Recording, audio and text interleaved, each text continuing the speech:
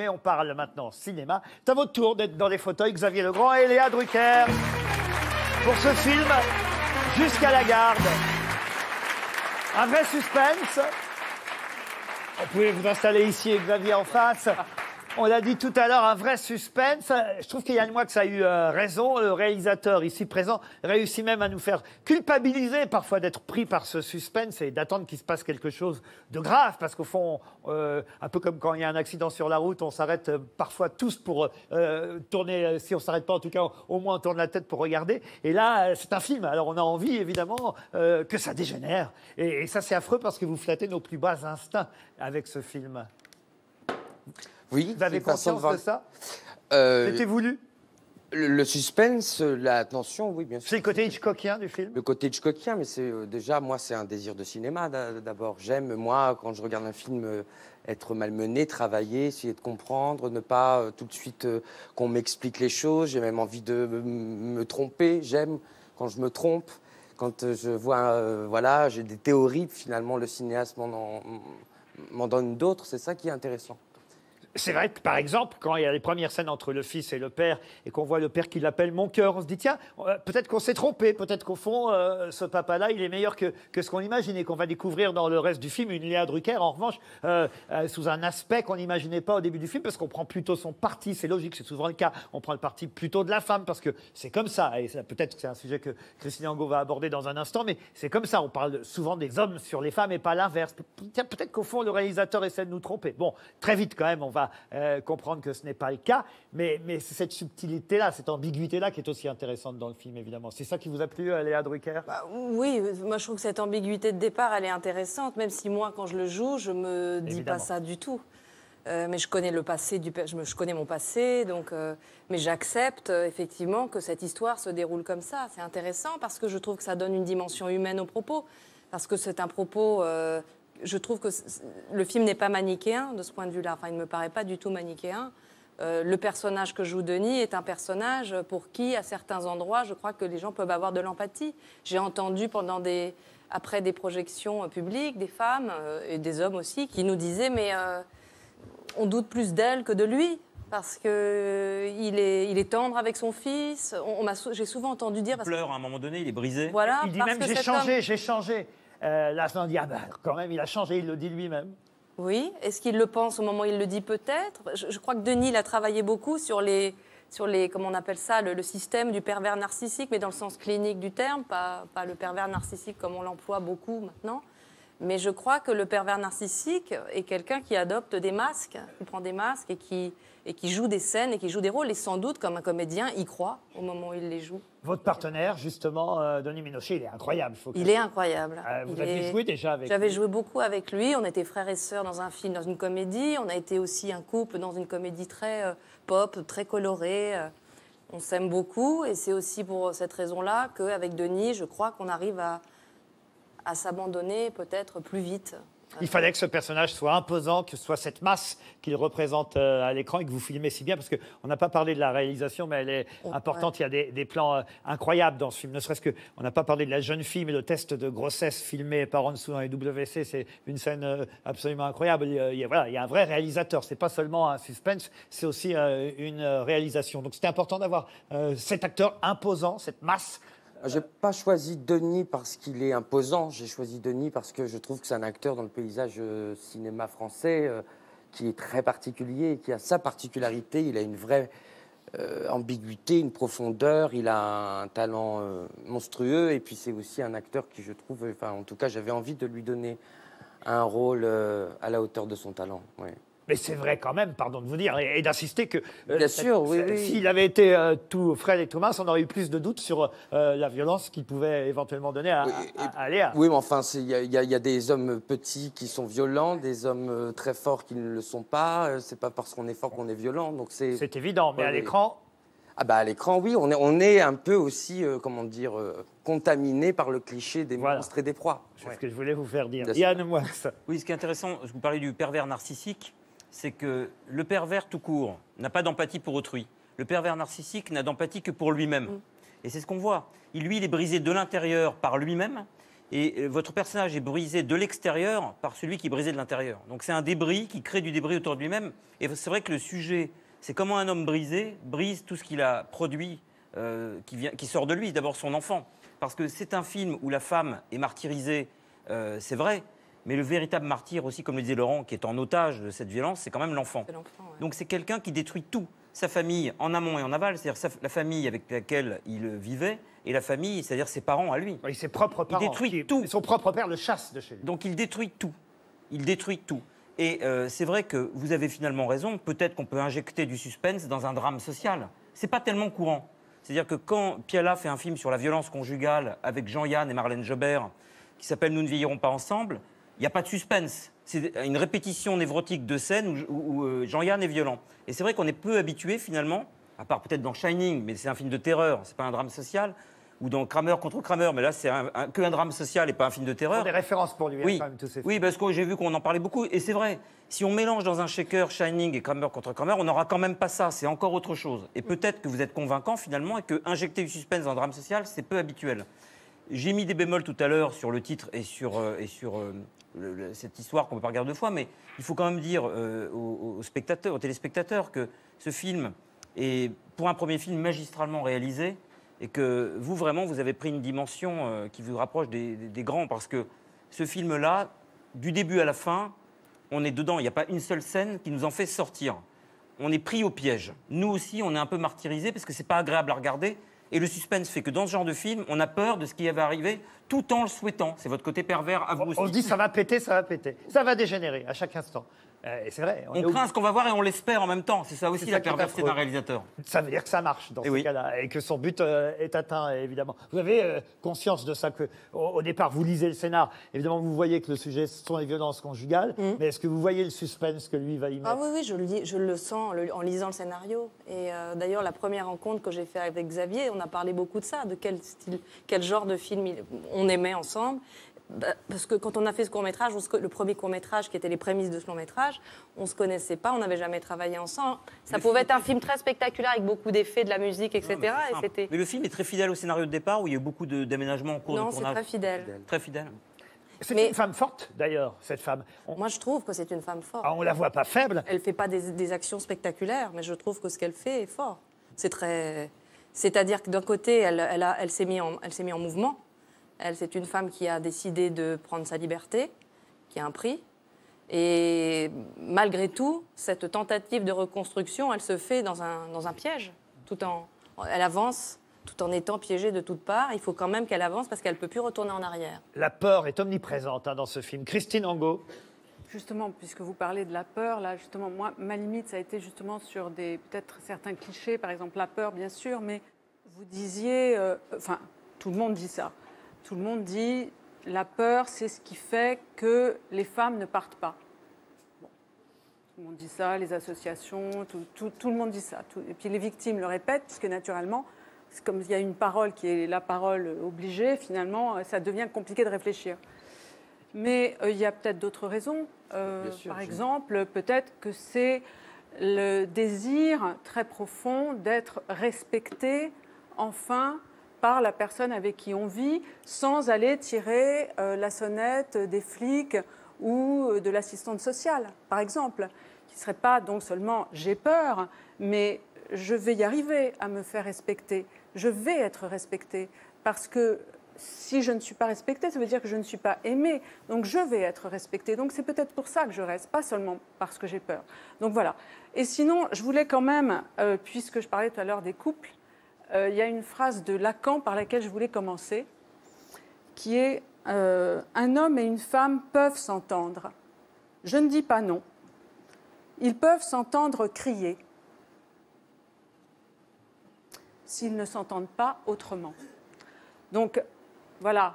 Je veux dire que il faudrait aussi se rappeler que c'est difficile les relations d'amour, que c'est difficile les relations entre un homme et une femme, sans forcément aller chercher toujours l'explication. J'ai l'impression qu'on est dans des sociétés qui sont très difficiles, très compliquées. Il y a beaucoup de choses qui nous arrivent là, collectivement à tous. Et je ne sais pas si chercher l'explication de, de nos difficultés, de notre désarroi, et de, et de la violence des sociétés, c'est systématiquement, j'ai l'impression que c'est beaucoup ça qu'on fait en ce moment, c'est-à-dire qu'on va chercher la violence comme le fait de la psychologie de certains. Alors là, par exemple, c'est les pervers narcissiques, pas seulement dans votre film, mais en effet, toute la misère du monde, là, serait le fait des pervers narcissiques. Je prends l'exemple de Woody Allen. hein. Euh, on a cette histoire de Woody Allen avec euh, Dylan Farrow, qui, qui l'accuse de, de, euh, de- d'abus euh, sexuels, euh, pédophilie quand elle avait 7 ans et tout ça. Bon. Et tout d'un coup, il y a toutes les actrices qui disent mais plus jamais, mais si j'avais su, mais comment, bon. Alors qu'elles rampaient toutes pour pouvoir jouer avec Woody Allen, alors même que Woody Allen, depuis des années et des années, et sur tous les tapis rouges de tous les festivals, au bras de sa femme, qui est la fille de Mia Farrow, et qui est donc sa propre fille adoptive. Il est marié avec une femme euh, euh, qui, au départ, était la fille de Mia Farrow et de euh, André Prévin, c'est ça, je crois, voilà, bon, qui était leur fille adoptive. Lui, la rencontre, cette jeune fille, alors qu'elle est la fille de Mia avec qui il vit, donc c'est lui qui devient le père adoptif, et il l'épouse et il va avec elle partout. Ça s'appelle de l'inceste, sauf si, à moins de décider que les enfants adoptés n'ont pas droit à être protégés par l'interdit de l'inceste. Alors ça, d'accord, il faut le dire, hein, moi je veux bien. hein. Bon, Euh, c'est peut-être ça, hein, je ne sais pas. Mais en tout cas, je veux dire, tout le monde s'incline pendant des années, tout prend en photo, le couple, etc. Et puis là, tout d'un coup, parce que le vent a tourné, parce que la honte a changé de camp, comme on dit, hein, euh, alors tout d'un coup, ah ben, on change de camp aussi, et puis etc. En tout cas, moi, ce que je vois, c'est qu'il y a toujours de la honte. La honte a peut-être changé de camp, mais il y a toujours de la honte. Donc là, la honte, elle est sur votre personnage masculin, très bien. Moi, j'attends le film où il n'y aura pas de honte. C'est ça qui m'intéresserait de voir. Et, euh, Mais vous croyez que j'ai fait le film il y a trois mois euh, Ça fait huit Ah, ans. c'est que pas la question. Donc je C'est comprends pas, pas la pourquoi on- Non, non, je dis que la honte fait partie de beaucoup de. de- de- à chaque fois qu'il y a des histoires de, de couple, il faut toujours définir un lieu de la honte. Si vous voulez, ce qui se passe dans. euh, le film m'a intéressé, hein, euh, vraiment. Mais je- quand même, je, je soulève ça parce que j'ai pas envie d'aller toujours dans le même truc. Et là, ce Là, qui ça est- tombe sur eux, ce qui est- malheureusement. Ce qui est intéressant, ce qui est intéressant dans le film, non, c'est parce que c'est aussi un film qui donne l'occasion de réfléchir à, à des, à des choses. Là, la maison, C'est le but. un petit peu quand même, d'un film comme ça, sinon c'est pas la peine. Euh, la maison n'est pas un refuge. Bon, la maison, pour chacun de nous, quand on en a une, hein, quand on n'est pas dans les croisières méditerranéennes, la maison, c'est un refuge. C'est OK, je ferme la porte, tac, je suis chez moi, rien peut m'arriver, c'est un refuge. Bon, quand on est dans une situation comme ça avec quelqu'un qui, qui peut tout d'un coup euh, péter un câble et puis s'en prendre à vous, la maison n'est pas un refuge. Bon, Moi, je trouve que la maison n'est pas un refuge dans l'absolu. Enfin, c'est pas. euh, Enfin, disons que c'est a priori plus un refuge. Enfin, disons que elle, ça peut être un refuge. Sauf que, en fait, la maison, en effet, n'est pas un refuge. La maison, c'est le lieu de l'exercice du pouvoir de celui qui régit la maison. Alors, celui qui régit la maison, ça peut être le père, mais ça peut être la mère. Ah, voilà. Bien sûr. Ça peut être le couple Turpin en Californie avec les 13 enfants qui sont enchaînés. Là, c'est un couple. Ça peut être des enfants aussi qui régissent le pouvoir dans une maison. Ouais. Donc, voilà. Donc, je trouve ça, tout ça, euh, ce que vous dites est, est- est évidemment intéressant, mais il y a beaucoup, beaucoup, beaucoup, disons, des, des clichés. Ce sont des vérités, ce ne sont pas des clichés. Mais étant donné que les autres vérités n'ont plus le droit d'être exprimées, ça devient compliqué. Vous comprenez ce que veut dire Christine Angot Oui, je comprends, mais par exemple, il y a des femmes qui euh, frappent leur mari. Il y a un film magnifique qui s'appelle L'un contre l'autre, qui a été euh, réalisé euh, par un réalisateur allemand, réalisatrice, non, réalisateur, je crois. Euh, il est formidable. Je, je me Oui, dis pourquoi, je- le, pourquoi en refaire un autre, par Non, mais exemple. je crois Mais que le talent je- des femmes n'est pas de frapper leur mari. Le talent des femmes, c'est de l'humilier, c'est de lui dire des phrases un peu. euh, c'est de voilà, c'est ça le talent des femmes. C'est ça que nous on sait faire. On ne sait pas taper. Mais C'est un peu un cliché, ça, non Depuis, depuis tout à l'heure, on, on dit le pervers narcissique, le pervers narcissique, mais euh, les femmes ont peuvent avoir cette euh, qualité-là de manière extrêmement développée et, et- et tout aussi grave. Alors, avec peut-être probablement. Je, je suis désolé parce que je n'ai pas vu euh, votre film et je, je me sens, euh, en, en tout cas, concerné par euh, le titre, puisque je, je- voilà, je- j'ai eu la garde d'une Ouais, oui. fille, dont je me suis occupé, et je m'en occupe toujours. hein, avec, avec beaucoup d'amour, hein, On n'a pas vu le film, on adore le titre.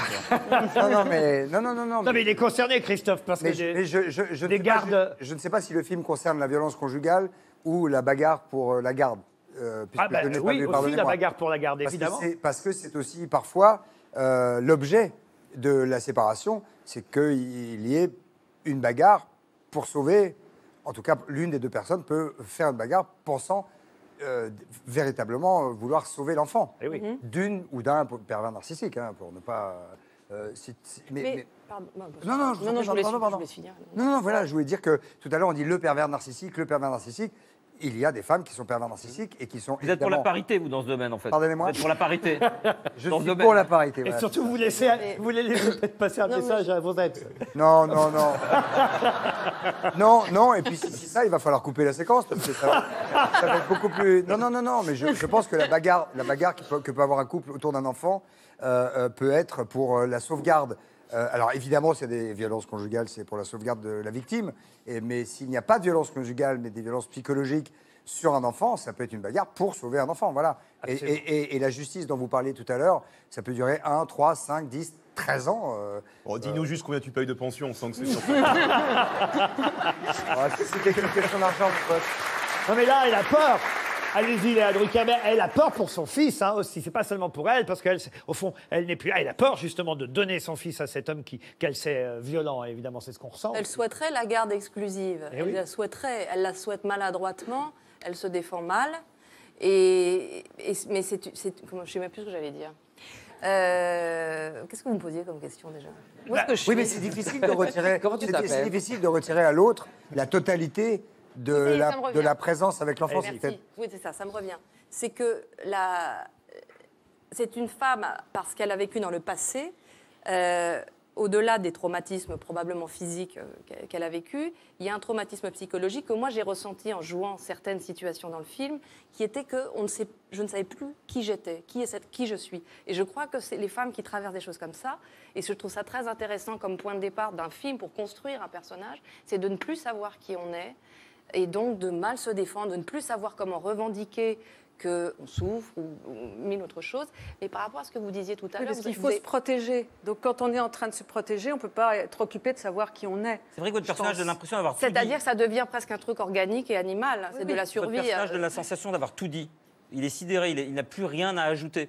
On sent Non. ça, qu'il n'y a plus rien. à- Et même quand, quand le personnage du mari vient vous enlacer en, disant, en essayant de reprendre contact, votre corps est totalement interdit. On voit bien que c'est impossible, c'est irréversible. Oui. Et qu'il n'y a plus un mot qui sort de votre bouche. Tout a été dit, en fait. Quand commence le film, vous n'avez plus rien à dire. Exactement. Et cette, cette- cette séquence-là, que j'aime, que je trouve très belle, très, qui symbolise beaucoup de choses, parce qu'en même temps, c'est un acte. de- il la prend dans ses bras, et en même temps, cette scène fait un peu peur aussi. Euh, Il y a cette main qui va vers lui maladroitement, et c'est les, pour moi, c'est les restes d'un amour totalement ruiné, détruit. C'est une tragédie d'amour aussi, malgré tout. Malgré toute cette violence, c'est une tragédie d'amour. Et la honte, je l'ai ressentie profondément, euh, parce qu'il y a une certaine honte à pas réussir à être quelqu'un. Et là, Non, pour le coup, la phrase de Lacan, parce qu'il a dit autre chose de Lacan, c'est l'amour, c'est donner à quelqu'un qui n'en veut pas quelque chose qu'on n'en a pas. Ouais, Là, c'est donner à quelqu'un qui n'en veut plus quelque chose qu'on n'a jamais eu. ouais. Ça s'appelle. Jusqu'à la garde. Ça sort mercredi prochain. J'espère qu'on vous aura donné envie d'aller voir ce film euh, important. C'est en plus un premier long métrage, donc il faut euh, l'encourager. Vous avez été euh, salué par l'ensemble des critiques et même des festivals, donc on vous souhaite beaucoup de succès dès mercredi prochain. Je signale que vous êtes acteur, on l'a dit en début d'émission, en plus d'être réalisateur. Vous dites même jamais j'arrêterai mon métier d'acteur. Ah oui, jamais. Vous serez sur scène d'ailleurs euh, prochainement, là en février, dans Mademoiselle Julie de Strindberg, à la comédie de Picardie d'Amiens. C'est Avec important pour Anna vous. Moglalis. Avec Anna Mouglalis, oui. Je peux poser une dernière petite question Allez-y. Parce que euh, je- je- quand j'ai vu le, le- le- le film, et je vous ai dit euh, ce que je vous ai dit au début, savoir sur l'enfant, euh, euh, vraiment qui est, qui est incroyable. Enfin, j'ai jamais vu un enfant comme ça dans, dans un film. Je me suis demandé si vous aviez été cet enfant. Ah non, pas du tout. Je me suis posé la question il y a trois minutes, moi. Ah oui Rien de personnel dans cette histoire. Non, du tout. Eh oui. Vous n'avez pas Et- été le père non plus, du coup. J'ai pas été le père. Donc On vous êtes peut- un observateur. On peut, on peut parler deux secondes des, des- des- des juges et de, ce, de, ce- de Allez-y. ces 20 minutes dont, dont- dont vous avez parlé tout à l'heure. Le mais début qui du peuvent- film. Mais qui peuvent durer des années, euh, ces 20 minutes, parce que les juges sont parfois tellement perdus. Moi, j'ai un ami, donc, euh, qui a eu euh, ces, ces problèmes de séparation à, à- à propos d'un enfant qui, qui- qui ne pouvait plus vivre avec euh, l'un des deux, donc. Et le juge est, est perdu. Et quand vous êtes. Il me racontait, donc, qu'il est, il est face au juge, et il dit au juge Vous avez face à vous deux personnes qui vous disent quelque chose qui, qui, qui- qui paraissent être absolument leur vérité. Comment vous pouvez faire pour savoir lequel des deux ment? Car l'un des deux ment, fatalement. Vous le connaissez bien, votre ami. Un peu- ben oui, parce que c'est un ami qui a vécu. J'ai vécu très près de lui à. J'ai vécu. Ça me fait penser au mec qui dit J'ai un ami qui va sur YouPorn régulièrement. Mais aussi, j'ai aussi un ami qui va sur YouPorn. Non, mais je veux, je, je- je- je veux dire que c'est quand il y a un enfant en jeu. Alors, euh, les deux adultes, c'est déjà euh, atrocement compliqué, mais quand il y a un, un enfant en jeu, c'est atroce pour une juge euh, des affaires familiales ou euh, des affaires conjugales, ou enfin euh, plus loin et plus haut en juridiction euh, euh, d'une juge pour enfants. Enfin, c'est là où mon pote est allé jusqu'au bout, d'en haut, d'en haut, d'en haut. Ça a duré 13 ans. Ça a été- et je vous embête. Hein, Laissez-moi raconter cette histoire parce que j'étais près de lui et je l'ai vécu très, très, très. J'ai un ami qui est chroniqueur, on n'est pas couché, il croit pas un mot de ce que vous dites.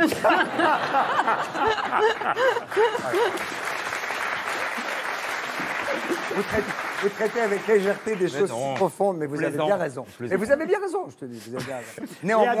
Néanmoins, c'est tellement compliqué, c'est tellement Oui, mais on s'en fout de votre ami si c'est pas vous.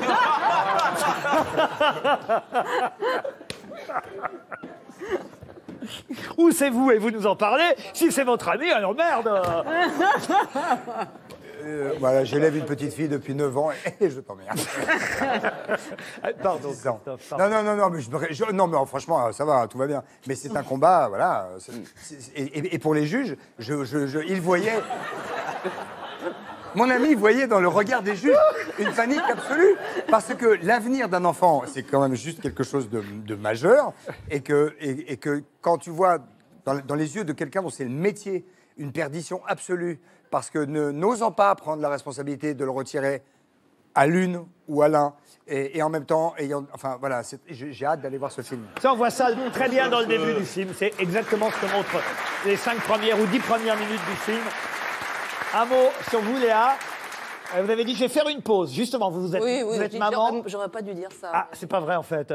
Non, mais les acteurs, ils aiment pas faire trop des pauses. Quand même. Ah, donc finalement, vous allez continuer à travailler alors. Non, non, mais c'est parce que j'avais fini de- une pièce. Ouais. Donc je me dis là, je fais une pause, mais j'ai- j'espère Vous êtes libre, retravailler. quoi, pour un nouveau film. Je suis libre pour un nouveau film, exactement. Peut-être euh, encore avec euh, votre euh, nouveau réalisateur fétiche en quelque sorte, puisque déjà un verra court métrage, puis maintenant ce long jusqu'à la garde qui C'est- sort mercredi c'est- c'est- prochain. Parce que Oui. j'ai lu dans sa bio que tu avais joué dans euh, Au revoir les enfants. Ah non. c'est une erreur d'Internet. Je me bats depuis des années pour dire que c'est un homonyme et je passe un- une annonce, je peux. Le Xavier Legrand qui a joué dans Au revoir les enfants. C'est pas grave, c'est pas non plus un porno, voir les enfants. Non, non, mais non heureusement. Moi, moi, je serais de vous, je dirais oui, c'est moi. Heureusement. Oui, mais Franchement, non, mais oui, je toucherai des droits en même temps. Bah oui, franchement. En tout Non, cas, l'affiche est, est, euh, peut-être pas le titre selon Yann Mock, mais l'affiche, je la trouve très réussie. Oui. J'aurais juste rajouté une calvitie également. Calvitie.